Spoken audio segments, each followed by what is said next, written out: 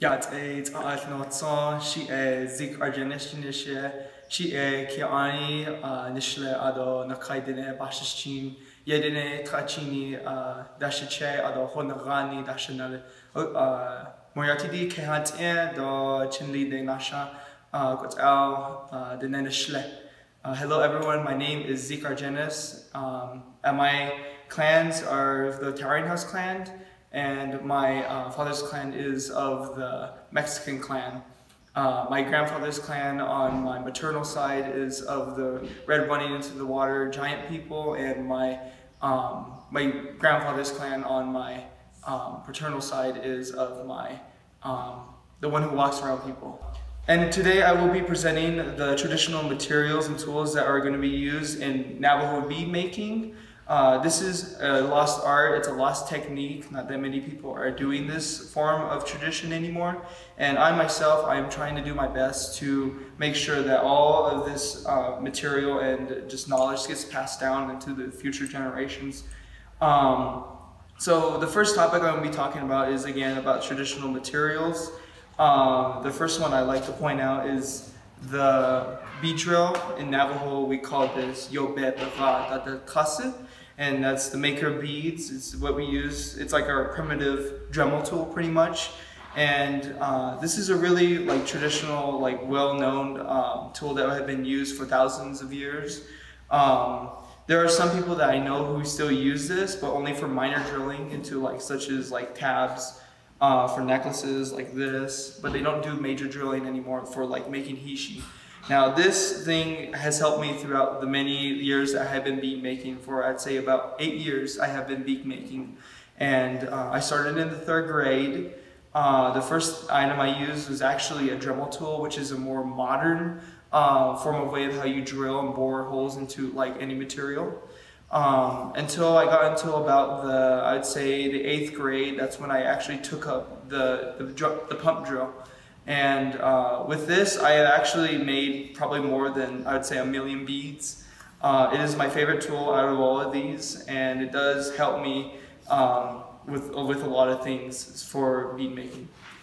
This totally differs from a Dremel tool because it's you can control the speed as well as the weight of how you're drilling into the material you're using.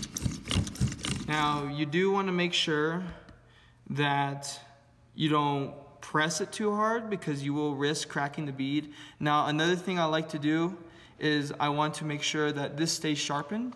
So I'll use the file which we call bear and then we'll make sure that we file that point down more so it won't get dull. And because when you have it dull, you're just gonna let the drill top spin just blankly on that shell piece, which you don't want to do. You want to make sure you go all the way through, but what I like to do, this is an old drill bit. This is what I use a lot. This is a more common, like a more modern kind of drill bit. Um, next I'll go and drill the other side, but this is a more modern drill bit, meaning that it's made out of a nail now, if you want to get really into the ancient days, what they would use is a crystal, which we call rock crystal. And what they would do is that they would split or break apart that rock crystal and find the fragments. I might have drilled a little bit to the side, but that's fine. Um, they would have sorted out the splints of that rock crystal and attached it, maybe modify it to make it more into a point, and then they would use that as a drill bit. But until the Spanish got here, as well as when trading posts started coming out and all these nails started to be a more common thing, they replaced that whatever obsidian or rock crystal for a more modern drill bit. So they modified a nail, which I use, and you want to make sure you keep it sharpened every time. And that's what they used was the nail. Um, and this is a more older drill bit, meaning that it's starting to kind of get shorter than it should be. See how fast I can go now? Because I um, straightened up that tape that was holding it in place. Now you can go any speed really. You can go any speed you want, but I like to go fast usually. But when I'm closer to that hole where the, the other hole meets the other side, I want to make sure I go slower. So I can still go fast, but you hear that squeaking where it stops? That's where you're gonna stop. And the only thing you can tell really from if a bead is pump drilled is that if you looked, if it has a bowl formation inside that drill hole. And that's what I like about when I ask a person or when they come to me and say, is this an old style like pump drill necklace? And the first thing, if I'm far away from them, the first thing I ask is, can you take a picture of the inside of the bead? So the difference from a pump drill bead, and this is a more modern made bead, is that you can see that there's no bowl shape formation where the, the drill had met. The whatever tool they uh, I was using, such as the Dremel tool, it went straight through the bead, so I didn't make any like bowl formation. It just went straight through it, and it's a more finer tune to it. And the next tool I like to point out are these rasps or files. We call that bear and that's how we say it in Navajo. Uh, we call them files. And uh, this is technically a rasp because it's more like, um, I'd say, it has a more uh, rougher kind of surface. So this is the tool that I use for when I start off, when I'm carving uh, items such as fetishes. When I have that big hunk of rock, I'll use this item first, the rasps, because it knocks out most of that rock out. Now, when I go to a more finer um, kind of like filing, I go to this more finer file. This is what I use for when I want to do a little bit of touch-ups, but not to the point where it's like finalizing the item. Uh, really what finalizes the items are more finer grit uh, materials, which are these mini files that we have. And these are like these materials right here, they're all more modern, but in the old days they did have rasp. I would say probably when the 1800s they did have rasp up until like the you know the 1900s.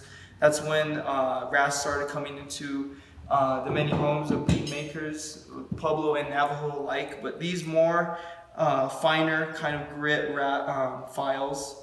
They're diamond based, so they have a diamond grit to them, and I use these for like touch ups and such. Uh, this is what I use for carving out my animals and my, um, you know, just tabs and such. Now, if you want to get to grinding into beads, I use these what we call and that's what we call these, which were called whetstones. Um, these, this is what helps me with my bead making. What I do is I'll take a strand of beads, and usually how this starts off is it's, it's pretty much more rough and it's not as fine as this kind of hishi that I have rolled out. Now what I'll do is I'll add water to the surface of the whetstone. Now this is a monster whetstone that I like to call. Uh, this helps me knock out most of my longer beads. So I probably have beads that are probably like 16 inches long or so that are just raw uh, chips of shell or turquoise, whatever I'm using. And I'll apply water to here and I'll roll my hand like this. And I'll keep rolling it and rolling it and rolling it and I'll pull the string while I roll it. And that's how I make my beads uh, that way. There's also a more modern way of making beads. Uh, people like to use like cabbing machines, those really like really expensive machines that they use for like getting like really fine touch-ups on like stones and shells and such. Um, I do have a cabbing machine. I usually use them when I'm like in a rush for like a jewelry item or such, like a custom order. But usually my jewelry comes in with the old making way, so I like to use this, these big whetstones. And these I like to call That means like the little, the smaller kind of whetstone.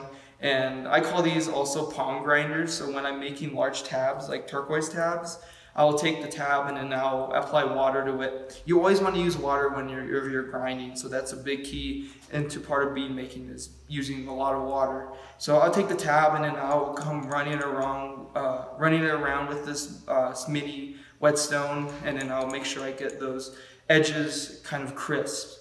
Because when I break the stone, I use hammers, I use sheep shears, And I also use these pliers, which I like to point out, they have this teeth, these teeth right here, these really straight teeth. And I like to use those because you can chip the rock out in the shell. And that's how I start off making my shells and beads is by crushing it, by you know breaking it in some form of way. Um, so with these teeth on here, whenever I have a shell, I usually like snap it or break it off. And usually when I have other shells that have spines on it, like spiny oyster, I use these pliers to snip those off. Um, for these, these are like kind of what I use to carve almost. This is really for when I have a big like hunk of rock and I want to split it in half. I'll use the hammer. I'll take the hammer and I'll put at the point of the rock where I want to split in half. And it'll take a couple of tries depending on how hard the rock is. Um, and of course, this is really dull from the many years I have split the rocks with. So, you know, just common items that the ancestors had from like the 1800s up until now. Um, it is what they would find, such as like trading posts and such. If they had like discarded, um, like you know, pieces of materials or tools, they would use those and use them in some way for their uh, jewelry making ways. Um, another item I like to point out is this piece of wood I have right here. This is what I use for bead making. Now I could use the pump drill on a surface, a hard surface like this. The problem is, is when you're bead making, the shell or whatever material you're using to drill the hole through, once you finally drill all the way through that material, it's gonna hit that hard surface and it's probably gonna split the bead in half. And that's kind of a problem for me sometimes. Like I'll get like sometimes lazy and I'll use this rather than finding a piece of wood. Now pieces of wood, they use this a lot for bead making because it has a more softer kind of surface. So when you're drilling through, you can have that nice, and you always, it's always in the feel when you're drilling. You have to, you have to know that feel when you're about to get to the end of the bead, that when you're drilling through. So it does, you have all these marks in here, which is a good thing because it cushions the bead.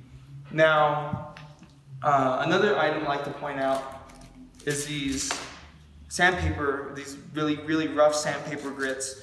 Um, I like to use these for sometimes like tabs, like when I'm making tab beads.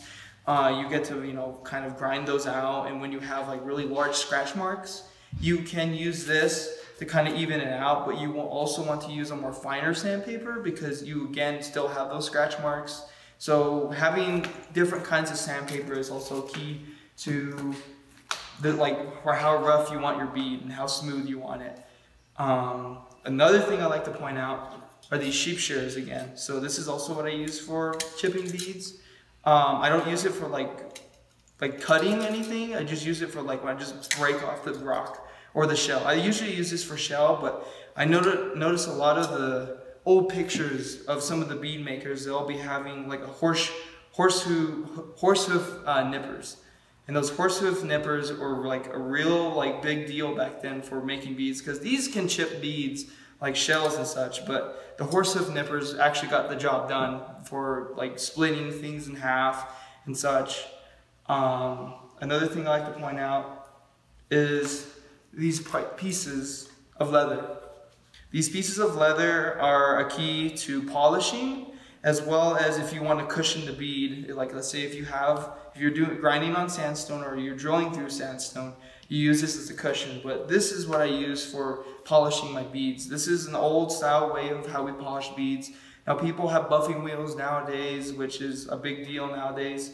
But the leather that we have was a big deal. it was like our like buffing wheel back then.